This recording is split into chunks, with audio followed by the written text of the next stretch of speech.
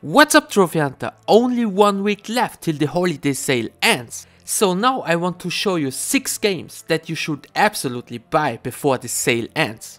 Most of them are easy platinums but more importantly is they are very cheap and good too. The first game is Late Shift and this is my personal favorite full motion video game. Great story, great acting and of course an easy platinum. If you're looking for a super good full motion video game, Late Shift is the game you need to buy.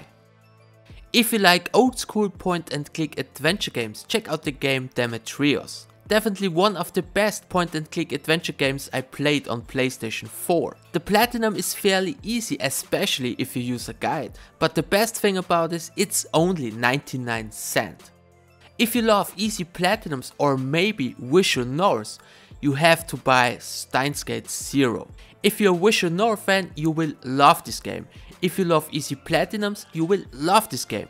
It's possible to have fun with the game for more than 50 hours, but it's also possible to rush through the game and get the platinum in 1 hour. The next game is the hardest platinum in this video, but it's such a fun game if you love arcade racing like Ridge Racer.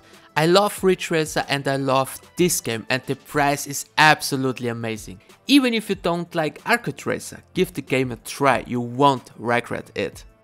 The next one is my personal favorite pixel art horror adventure game, The Long Reach. The game has a really great atmosphere. The only downside is that most of the puzzles do not contain logic and the game is very short but you can buy it right now for less than $2. And the last game on my list is Riddled Corpses EX. The game is a twin stick shooter and yes, there are better twin stick shooters available on PlayStation 4. But the reason why I put this game on my list, it's super cheap and it's really fun. So guys, if you do not have much money but want to play some fun games and unlock some platinums too, check out these 6 games. If you watch the video and your next step is to go to the PlayStation store and buy one of these games, let me know it in the comment section below. Thanks for the attention guys, see you in my next one.